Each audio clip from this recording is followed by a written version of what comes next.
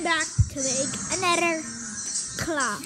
But this type of claw today is a wolf claw. Well, at least I call it a wolf claw. Some people would call it, well, the normal average claw.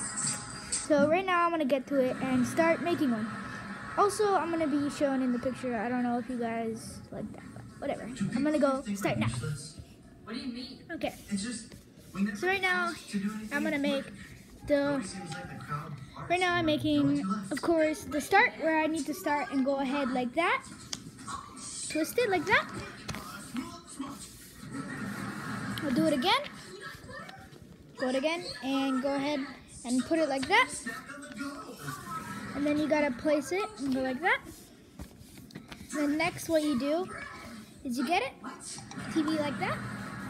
I'll show you what it should look like. And then you go ahead and go and turn it to here. Show you what you do. Okay, here, get it. If it's normally like that, turn it to like that. Like that. There you go. And then next you turn it. And you go ahead and turn that. What's the difference? They're both just cheese and bread. Or just cheese and bread? That's like 99% There you go. of our diet. Um, canceling my birthday anyway. What? You can't cancel Go ahead. your birthday.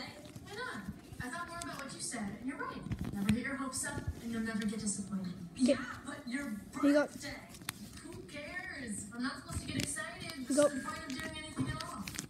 Yep. Cut it out of here. And now that we got it, we just open the hole right here. And then you go ahead and put your stem in.